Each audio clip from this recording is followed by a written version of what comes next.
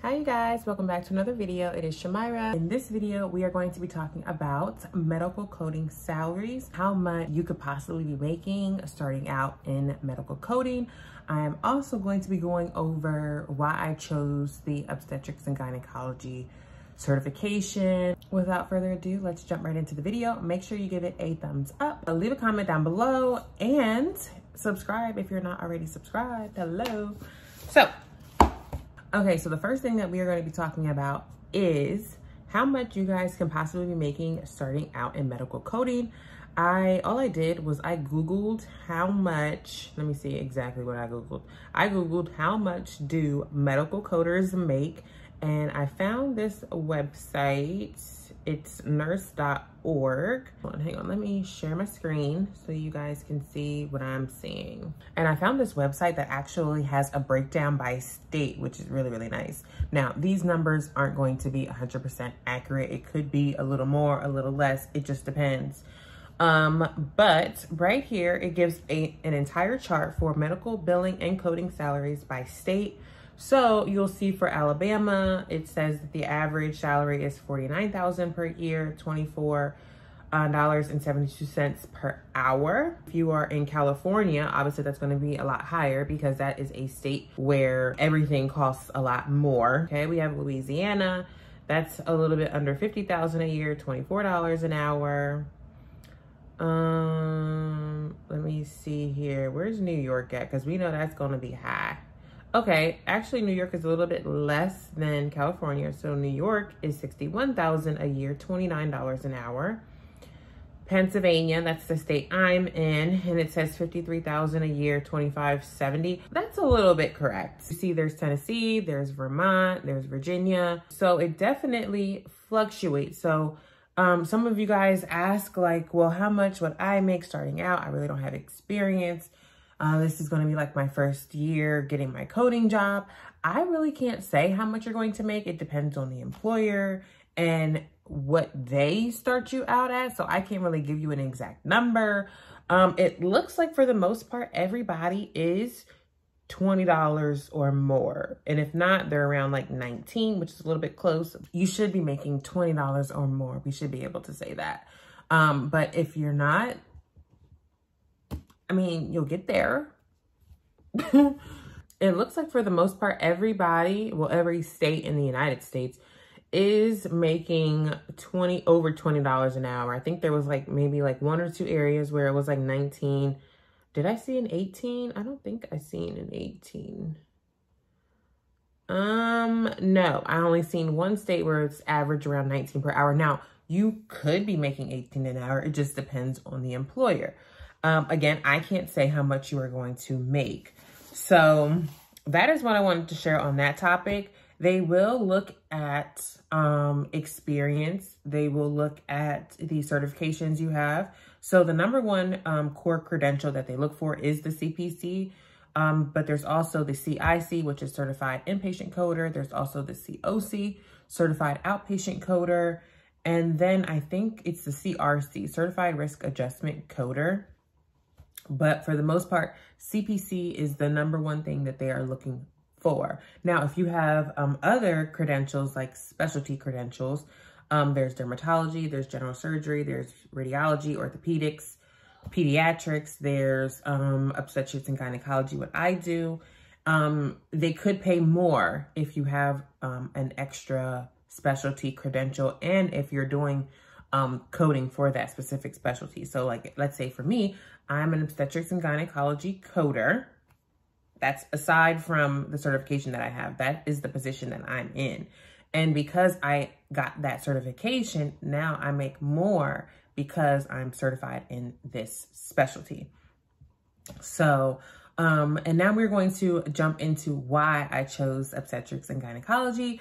Um, a few of you have asked me like why I chose OB-GYN and I think I've gotten back to you, but I did want to do a video so um, everyone else knows why I chose OB-GYN. And maybe you're trying to figure out what specialty that you want to um, get into. And hopefully this will help you decide if this if that is a specialty for you, whatever.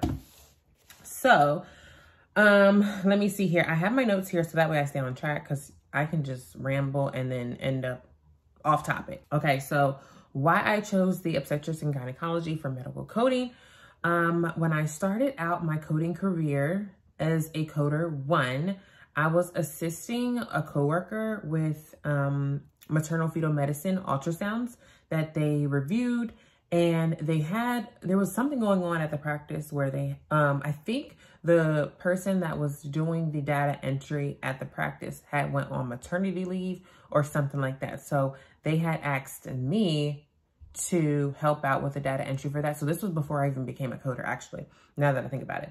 I was helping um, uh, that practice submit their ultrasounds for the practice.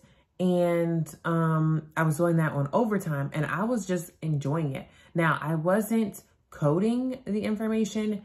All I had to do was plug it in and plug it into the system. So everything was already coded. I was just doing the data entry piece to it because the coders at the time, they were just strictly coding. They weren't coding and entering the charges into the system. That was left to us data entry um, clerks.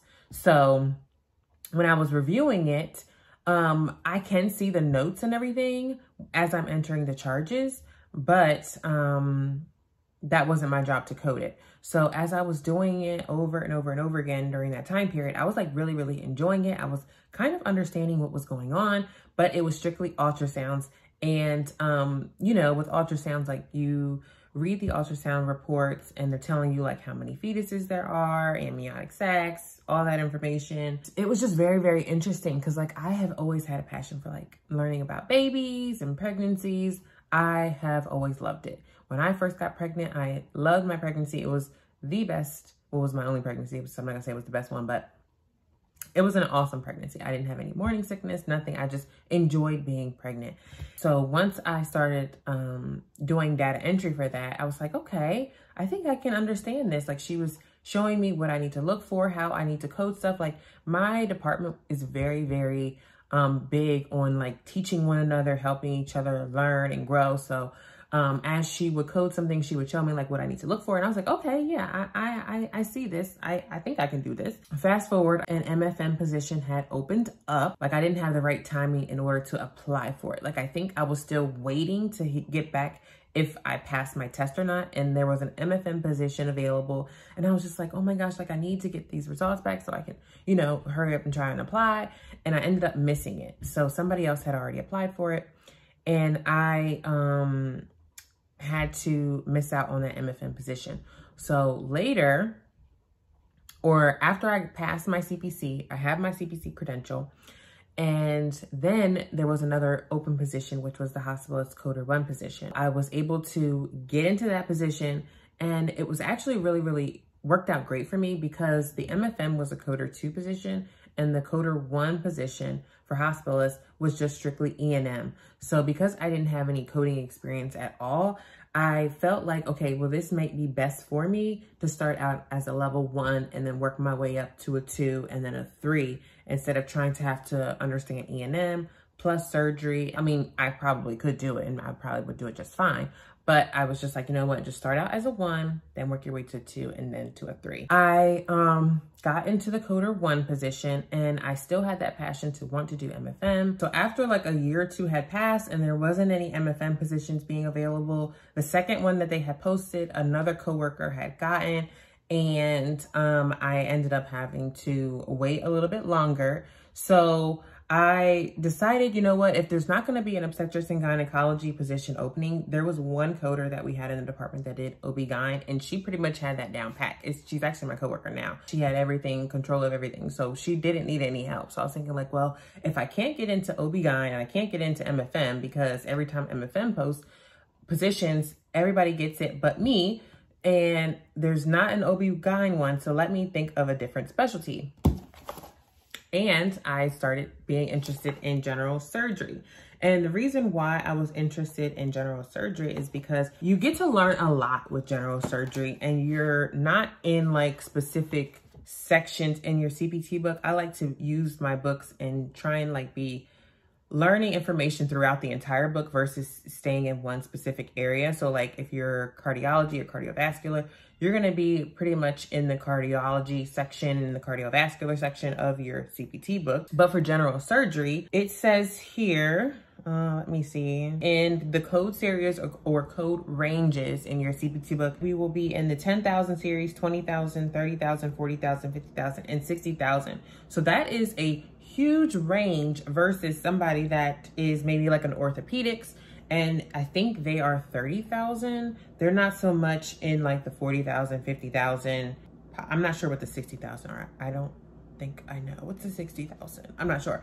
But my obstetrics and gynecology one, if I look in this study guide, it tells me code range for this specialty is 10,000, 40,000, and 50,000. So, and that's pretty accurate. I mean, but you see the code series is 10,000, 40,000, and 50,000.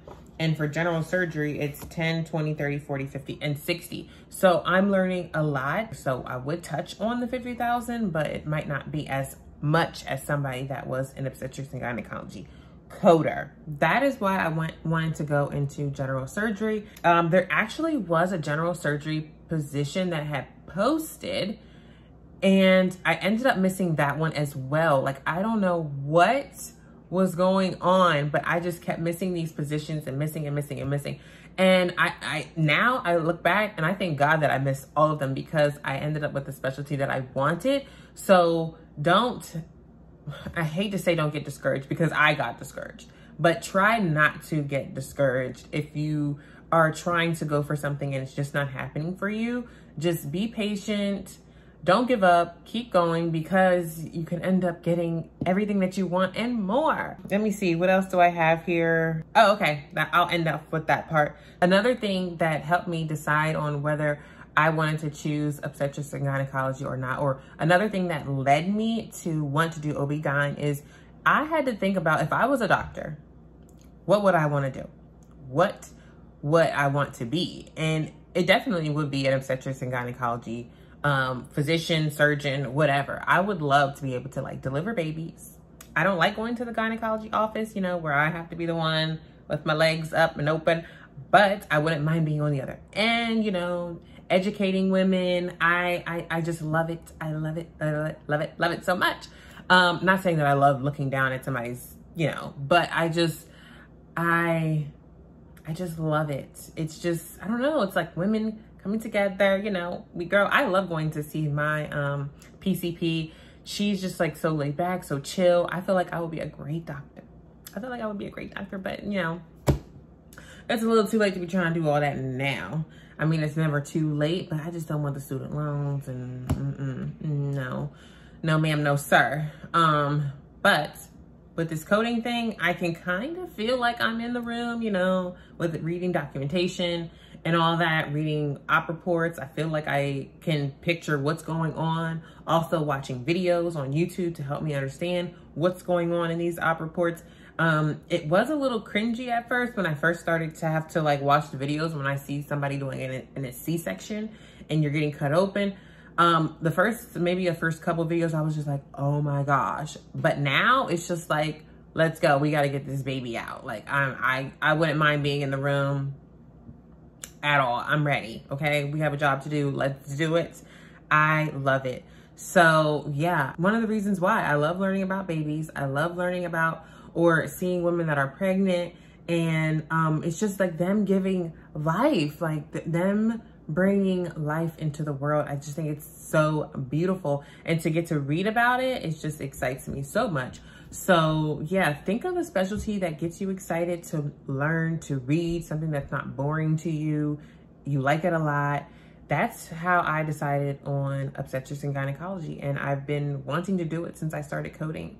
Just helping, helping that MFM practice with ultrasounds literally just like clicked something and I've been hooked ever since. So yeah, and that was in 2016. So fast forward from 2016, 2021, five years later, I am an obstetrics and I don't know why I get tripped up on that.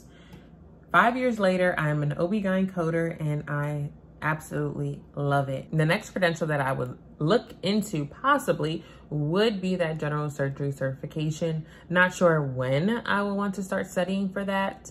Um, I mean, I already have the study guide and I probably would do really well. I'm not going to say that I don't know how I would do. I probably would do really well um, on it, but the more experience you have, the more um, practice you have. I won't even say experience, but the more practice you have with coding, the better you'll get. So don't feel like you have to be in a coding position in order to start studying and learning. You could get on the internet and learn, literally teach yourself about medical coding. It's really, really not that hard.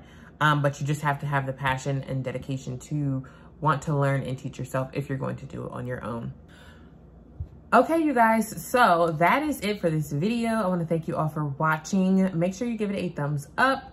Um, leave a comment down below if you guys are specialty coders, what specialty you guys have or credential that you guys have um, what specialty you guys are going to be looking for. Are you guys going to be looking into obstetrics and gynecology as well? I do have a lot of you guys that comment and say that you guys are either applying for OB-GYN or you guys are obstetrics and gynecology coders. And I think that is so exciting. Um, but yeah, comment down below. Thank you all. Thank you all for watching, for all the views.